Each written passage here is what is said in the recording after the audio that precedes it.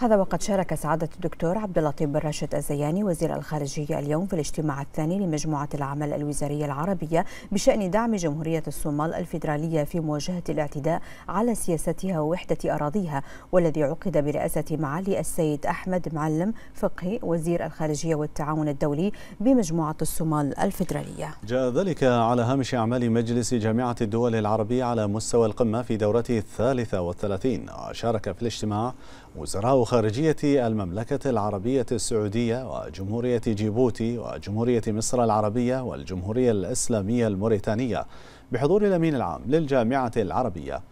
وناقش الاجتماع الجهود العربية المشتركة للدفاع عن سيادة الدولة الصومالية ووحدة وسلامة أراضيها في مواجهة مذكرة التفاهم المعقودة بين جمهورية أثيوبيا مع أقليم أرض الصومال.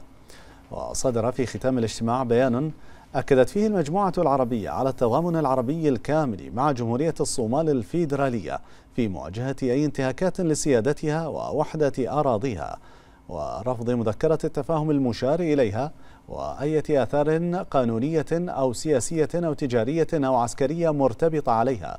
وأكدت كذلك على الموقف العربي الثابت في أن إقليم أرض الصومال هو جزء لا يتجزأ من جمهورية الصومال الفيدرالية.